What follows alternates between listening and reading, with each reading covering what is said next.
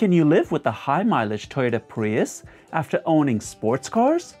Find out from a real owner, including his likes, dislikes, and rating out of 5 stars.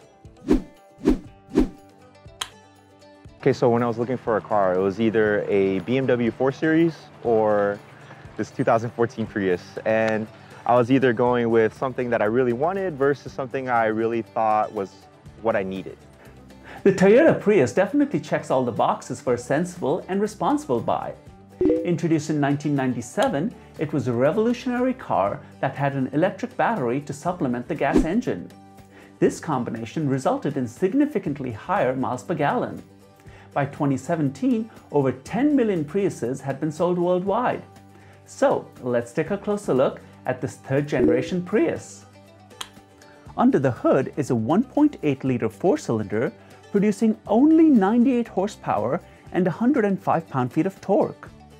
That is supplemented by a battery which has a power output of 36 horsepower, bringing the total system power to 134 horsepower.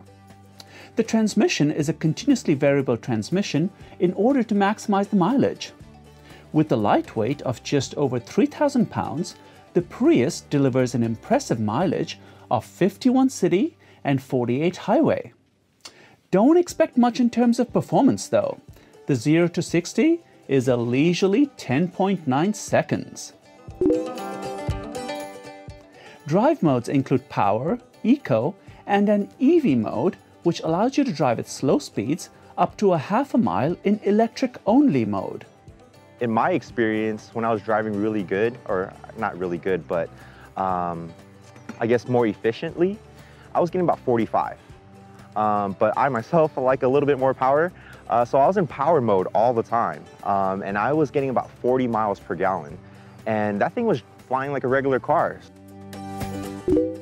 The exterior of the car is designed to maximize the fuel efficiency. That streamlined shape with the rear spoiler results in an impressive drag coefficient of 0.25. However, the rest of the styling leaves much to be desired. The small wheels, oddly shaped light clusters, and body panels without much sculpting lead to a boring, bland look. It's not the coolest car in the world. If you're going out on a first date or anything like that, it's not the most impressive. While the looks may not impress your date, being bland can have its upside. So I used to have a lot of cool cars and I used to get a lot of attention. I used to break so many necks with the kind of cars I was driving. Um, but now that I got a little bit older, I don't really want all that attention. I want to stay low key.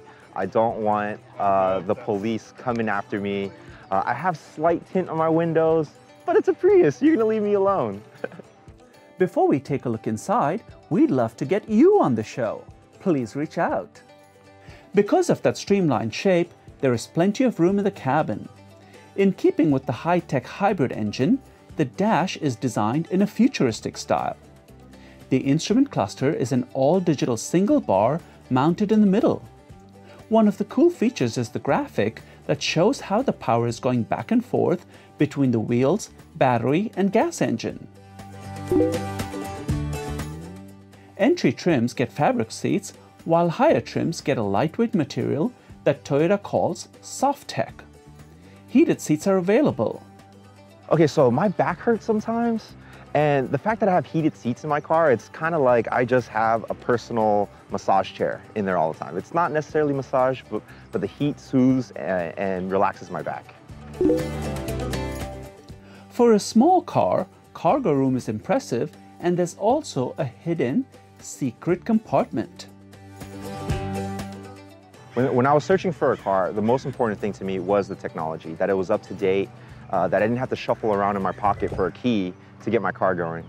Um, what came with the technology package was the heads-up display, which is like the newest technology out like 2014, around then.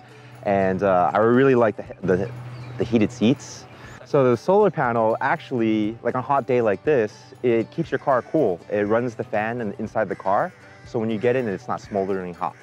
Other tech features include a backup camera, navigation, lane keep assist, and dynamic radar cruise control. It's pretty impressive to see this level of technology in a car at this price point. So, how does the Prius drive? This car is so smooth. Actually, one of my favorite things is hopping in really quick, turning it on, and then just like scooting away. Nobody hears anything, nobody, nothing like that. And if you're like, whoa, you know, uh, the handling, it's not bad for the car for what it is. Um, I'm used to sports cars, but for what it is, the handling is not too bad. And how many stars does Jonathan rate the Prius? I'm gonna rate this car four out of five stars. It's efficient, it does what it needs to do, um, and it's affordable. If you're considering a Toyota Prius, take a look at our other owner reviews. Please give the video a like and don't forget to subscribe.